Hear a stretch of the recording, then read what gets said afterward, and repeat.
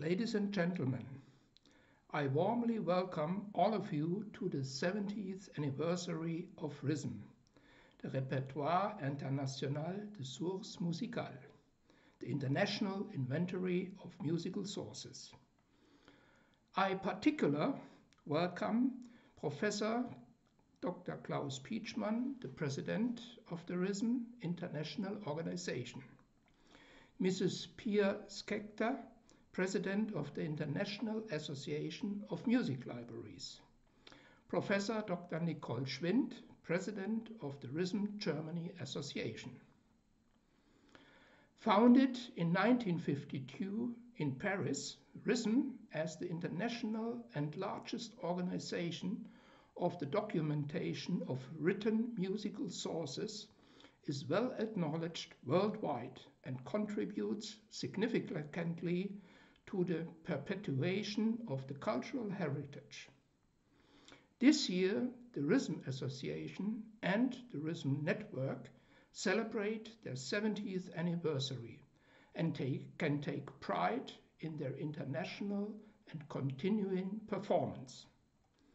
During the years, RISM has developed an intensive commitment to documenting written musical sources scientifically and today it's an international lighthouse project, in particular for the humanities. Since the early 1980s, the RISM Central Editorial Office is integrated as a research activity into the German research program for scientific academies.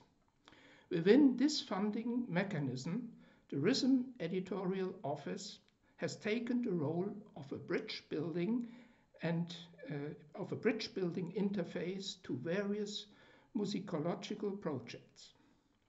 Prospects of the future for the exploitation of musical sources involve both digitalization and the attraction of junior scientists. Digitalization is of strategic importance and has become an important approach for gaining more visibility in our society. Thus, the German government decided to launch an important research data infrastructure initiative, the so-called NFDI, Nationale Forschungsdateninfrastruktur, the National Research Data Infrastructure. Consequently, RISM has become a partner in NFDI for Culture, the National Research Data Infrastructure for Culture. In this network, there are also interesting perspectives for a continuation of the RISM's work after 2025, when the present funding of this crucial infrastructure project in global musicology, musicology comes to an end. The Mainz Academy of Sciences and Literature supports RISM intensively in its search for long-term secure funding. The attraction of junior scientists is a major task of scientific communities. Due to the new challenges in a rapidly changing world, attracting the next generation of young scientists is a major task for all of us. I want to thank the organizers for their ongoing effort in organizing and managing this conference. For the conference, I do wish inspiring talks, fruitful discussions, and a successful meeting. Last but not least, con congratulations for the 70th anniversary and a happy celebration. Thank you very much.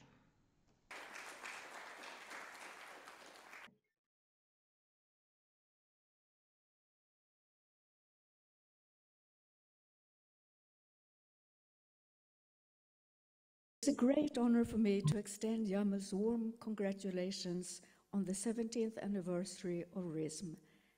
As the president of IAML, I'm very proud of the fact that our association the International Association of Music Libraries, Archives and Documentation Centers, was one of the two founding fathers of the RISM project in 1952 together with IMS, the International Musicological Society.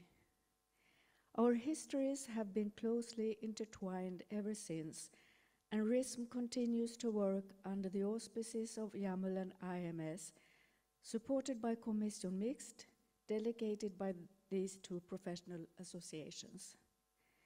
Together with the board of RISM, the Commission Mixte forms the executive committee that determines the strategic goals of the organization.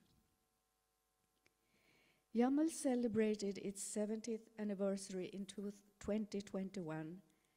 This was the first time IAML held its annual congress entirely online. It was difficult to create a festive atmosphere on Zoom, and therefore the videos with cordial greetings from the representatives of RISM, RILM, RIPM, and RIdIM were especially welcome. It was striking that all of them used the family metaphor to describe the intimate relationship between IAML and the R projects, among which RISM is the oldest brother. This year's IAML Congress took place in Prague and finished with a separate RISM Day honoring the jubilee. I take the liberty to use this occasion to promote IAML's next Congress, which will take place in Cambridge from 30th of July to 4th of August. You are all very welcome. A preliminary program will be available online in the beginning of next year. I also take this opportunity to inform you that the next issue of IAML's academic journal Fontes is dedicated to the RISM anniversary and offers several articles guest edited by the president of RISM Germany, Nicole Schwind. RISM grew out of the needs to create a comprehensive inventory of musical sources after the end of World War II when many libraries had been fully or partially destroyed and collections had been moved around. IAML and RISM are firmly rooted in our respective history, but have at the same time adapted very well to the challenges of the digital era. The freely accessible RISM catalog of musical sources and the newly inaugurated RISM Online are nothing less than remarkable when it comes to comprehensiveness, thoroughness, accuracy, and user friendliness. The fact that the RISM database now has more than 1.4 million records is truly impressive. RISM's vision, knowing what exists and where it is kept, seems to be within reach. Apart from the increasing number of records in the database, there is an ongoing work to improve the catalog through technical developments, expansion of authority data, refined incipit search, etc. On behalf of IAML, I would like to thank the RISM working groups in more than 35 countries for their dedication to this global project. A special thank you goes to the Greek RISM Working Group, which has recently completed the report of their IAML project group on RISM Series Dealing with authority records for institutions. I would also like to pay a special tribute to the highly professional staff of the editorial center in Frankfurt, as well as to the major German libraries in Berlin, Munich, and Dresden the RISM Digital Center in Bern, and other international institutional partners. Last but certainly not least, the international community cannot be grateful enough to the Mainz Academy and in general the German Union of Academies for the ongoing and generous support to RISM, which RISM has received as part of the Akademien program. We are celebrating RISM's achievements during, this, during 70 years at this conference, but we are not here solely to look at the successful part, past. Our focus is also to outline plans that will result in a sustainable and prosperous future for RISM, a project that is invaluable for music scholars, music musicians, librarians, students, and others around the world. We're living in distressing, distressing times and are reminded of the importance of culture in people's lives. IAML and RISM will continue to work internationally with safeguarding the musical heritage of the world. I have now come to the end of my speech, and it is a pleasure for me to hand over a small present from IAML, a token of our appreciation and admiration. We wish RISM the best of luck for the future.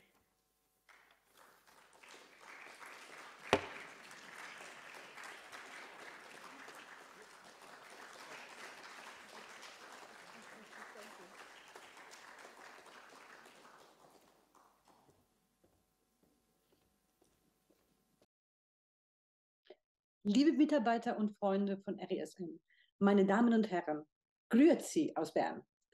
RISM wird 70. So ein Jubiläum gilt es zu feiern und es ist mir eine Ehre, in den Chor der Gratulationen einzustimmen. Dabei singe ich gleich vielstimmig. Mit dem Bass der IMS als deren Generalsekretärin, mit dem Sopran der SMG, der Schweizerischen Musikforschenden Gesellschaft, als deren Zentralpräsidentin, dem Bariton der SAGW, also der Schweizerischen Akademie der Geistes- und Sozialwissenschaften, auch als deren Präsidentin, dem Mezzosopran als Autorin und Mitarbeiterin an zwei Bänden und dem Tenor als Vorstandsmitglied der Schweizerischen Arbeitsstelle, die seit letztem Jahr zu RSM Digital Center umbenannt wurde. Als RSM 1952 von IMS im Schulterschluss mit der 1951 gegründeten Internationalen Gesellschaft von Musikbibliotheken JAML aus der Taufe gehoben wurde, saßen den Patenonkel und Patentanten noch die Traumata des Zweiten Weltkrieges in den Knochen. Sie hatten erlebt, wie jahrhundertelang gehegte Musikquellen in kürzester Zeit unwiederbringlich zerstört wurden. Die Zeugnisse der Vergangenheit waren also fragil und es galt gemeinsam dafür zu sorgen, diese zu schützen. Das Mammutunternehmen eines internationalen Musikkataloges wurde als Instrument der Sicherung dieses gefährdeten historischen Erbes gewählt. RISM tat aber weit mehr als nur festzuhalten und zu zählen. RISM hat zusammen mit Jammel dafür gesorgt, dass sich Musikhistorikerinnen und Bibliothekarinnen international kennenlernen und vernetzen, um ihre Interessen gegenseitig zu stärken. Somit ist RISM auch eine Medizin gewesen, um die traumatisierte Generation der Nachkriegszeit zu heilen und aus ihrer Schockstarre zu lösen. Eine der Schwestergesellschaften die sehr rasch an dem internationalen Unternehmen Interesse fand, agierte in der neutralen Schweiz. Die SMG, die Schweizerische Musikforschende Gesellschaft, war ab 1954 der Motor für den Beitrag der Schweiz zu RISM. Man kann die Beziehung zwischen SMG und RISM aber auch umgekehrt deuten. Die Möglichkeit, an RISM mitzuwirken, setzte in der Schweiz erstmal die Energien frei, um überhaupt einen Überblick über die eigenen Musikbestände zu gewinnen. 1954 wird zum ersten Mal im 21. Mitteilungsblatt der SMG über die Zusammenarbeit mit der deutschen Zentralstelle von RISM für die Vorarbeiten zu einem neuen Quellenlexikon, einem neuen Eitner, berichtet. Doch am 30. Juni 1955 entscheiden sich die Kollegen der SMG zunächst für eine von RISM unabhängigen Herangehensweise. Denn statt Listen an die Bibliotheken zu verschicken, sollten Arbeitsgruppen gegründet werden, eine Maßnahme, die die SMG finanziell nicht stemmen konnte. Die SMG reagierte rasch mit einem Alternativplan. Man verschickte selber Formulare an die Archive und Bibliotheken in der Schweiz. Binnen kürzester Zeit treffen mehr als 100 solcher Fragebögen ausgefüllt ein, die von der Universitätsbibliothek Basel im Auftrag der SMG verwaltet wurden. Kurz und gut, das Unternehmen nimmt Fahrt auf. Unter der Ägide der SMG gelingt es 1955, die acht Jahre junge Schweizerische Geisteswissenschaftliche Gesellschaft, später Schweizerische Akademie der Geistes- und äh, Sozialwissenschaften, zur Unterstützung des Projekts zu gewinnen.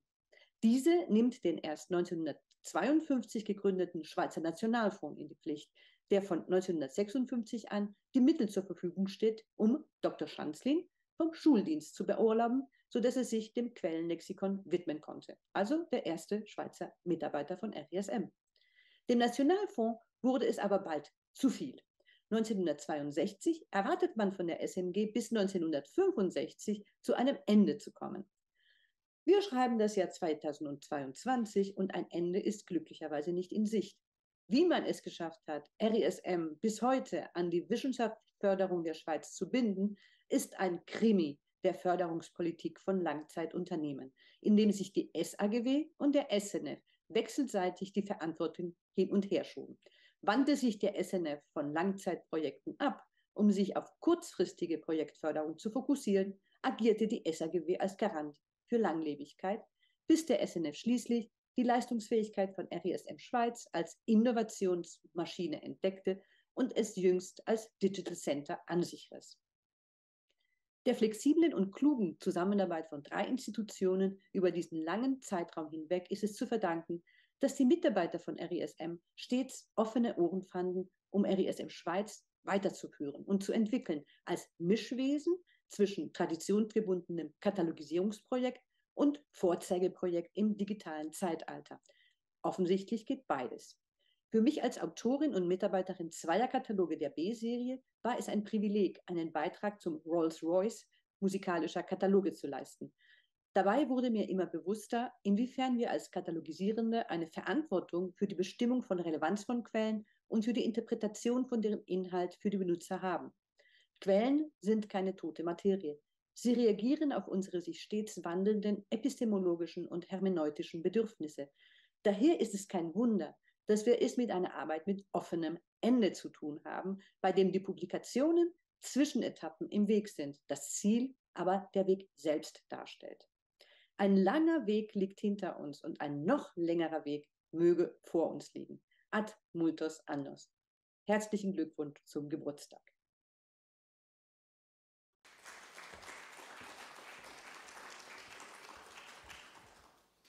Ladies and gentlemen, dear President Shekhter, dear President Schwind, dear guests, dear friends of RISM in the hall and online. On behalf of the International RISM Association's Board of Directors and the team of the RISM Editorial Center, I welcome you most warmly to this anniversary conference. When we planned this event in the spring, it seemed very bold to hope that we would be able to gather here in person in early October. In the last two years, such hopes repeatedly proved to be deceptive. Thus, I am all the more pleased that our courage has been rewarded and that after three years, we are once again able to hold a major RISM event here in the beautiful rooms of the Mainz Academy of Sciences and Literature. And I would like to take this opportunity to thank its president, Professor Anderl, and the Secretary General, Professor Geisler, very warmly for their hospitality. It confirms the great support that RISM receives from the Academy also beyond its funding, and for which we are very grateful. We have 70 years of RISM to celebrate this year, and we have heard quite a bit from previous speakers about the history of this singular global network in the service of musical source cataloging. All of us who are committed to the cause of RISM can feel flattered to hear these congratulations, and we accept them gratefully. We also see them as an inspiration to work hard to ensure that this long success story continues. In fact, I'm pleased to make mention um, of the recent recommendation that the funding of the editorial center by the German Acad Academic uh, Academy Union be extended for another two years. This is wonderful news, but after 2025, other structures will be needed in which the work can continue. Thanks to the ongoing support of our partners in finding alternative solutions for the future, however, I'm optimistic that in five years we will be able to celebrate RISM's 75th anniversary in as a good mood, uh, mood as we are in today. And please let me mention these partners one by one, the SBB Berlin uh, and uh, especially Martina Rebmann, the BSB Munich, Rainer Nägele and Jürgen Diet, the SLUB Dresden, Barbara Wiermann, the German RISM Working Group, Nicole Schwind, and the RISM Digital Center in Bern, Laurent Pugin. Thank you all very much for your support in so many areas.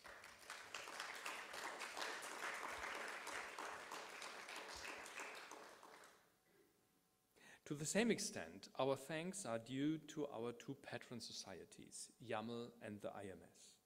The greetings from their respective President and Secretary General once, uh, once again made clear their great solidarity, and we were able to use the two conferences of the so societies in Prague and in Athens this year to offer further festive events and celebrate together this round anniversary with our worldwide community. There were also nice birthday, birthday gifts for RISM on its 70, uh, 70th birthday.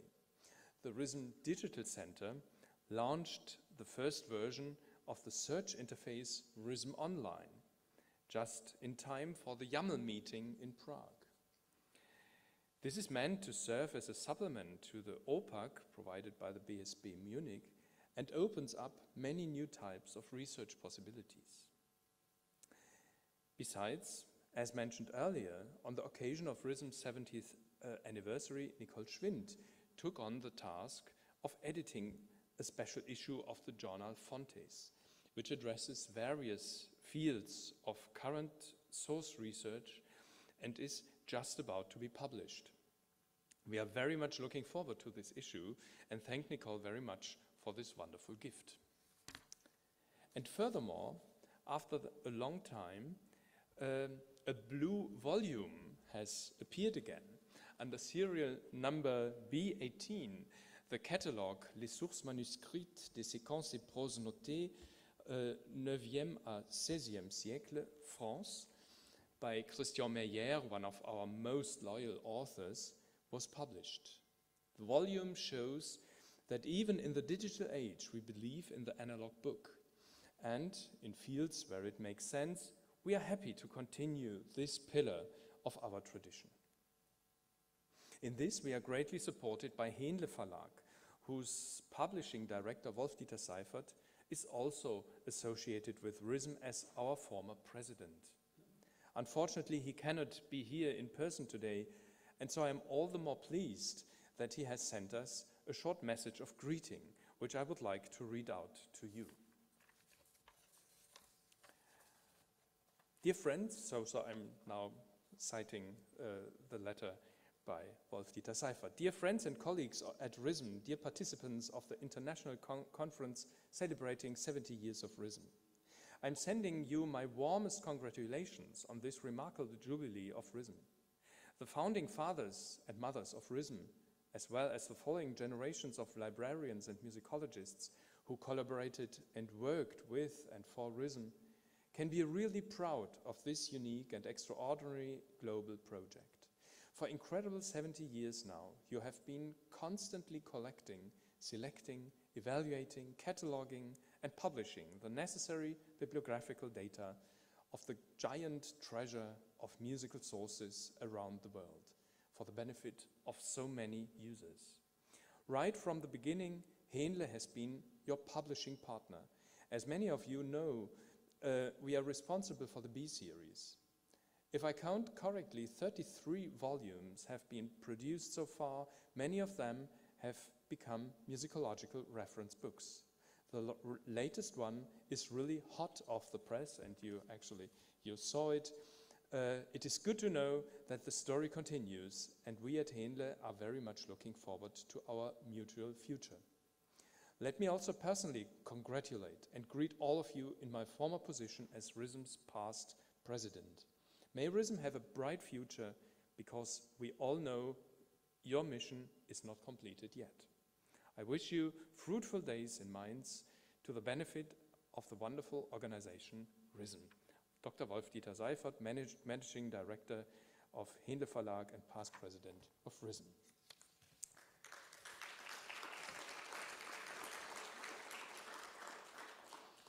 We thank you, dear Wolf-Dieter, if you see us uh, now or later, very much for remembering us.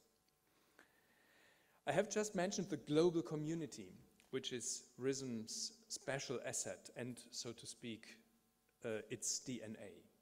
In Prague and Athens, RISM joined events of these communities, and now many representatives of those communities have come to celebrate RISM's anniversary with us here in Mainz. We look forward to your sharing with us your thoughts and research on musical sources, past and future. Yet another country is prominently represented. From Hungary comes Balázs Mikusi, who took over the management of the editorial center from Klaus Keil in 2020 and continues Mr. Keil's long work with enormous commitment and success. To you, dear Balázs, and the whole team, I express my sincere thanks on behalf of the board of, for the organization of this meeting. As always, you have done the work of preparation calmly and very professionally. Thank you very much.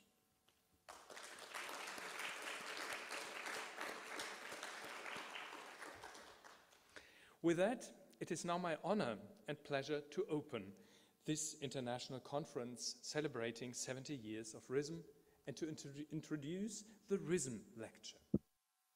We established the RISM lecture format during the pandemic so that we could so that we would not lose touch with our community during these difficult times. It has been a great success, so it seemed only logical to continue it here in a hybrid form. After the first two lectures, dedicated to the Biblioteca Apostolica Vaticana and the Berlin State Library, res respectively, we are now moving to the American continent for the first time. Our three speakers can rely on experiences gathered while cataloging the music archives of the Mexico City Cathedral, and they will discuss the unique formal characteristics of the sources found. Needless to say, most of these sources can now be searched also in RISM, being the first fruits of a cooperation we sealed in Mexico City in November 2017. And I very warmly remember this event and, and the visit in Mexico City. And now it is my extraordinary pleasure to personally welcome Lucero Enriquez and Drew Edward Davis. And of course, I also extend my warmest greetings to Analía Chernavsky, who is joining us via Zoom. Before I hand over the floor, I would like to briefly introduce our speakers. Lucero Enriquez graduated from the Bach Conservatorium in Amsterdam as a solo harpsichordist under the direction of Gustav Leonhardt. She specialized in the Baroque period at the Edward van Beinum Stichting. She studied composition with Rodolfo Halfter, Julian Orbon, and Ton de Leeuw. In 2007, she graduated as PhD in art history at the UNAM in Mexico City. She is a full-time senior researcher in the area of colonial music at the Institute of Aesthetic Research at the UNAM and harpsichord and basso continuo teacher at the Faculty of Music of the same university.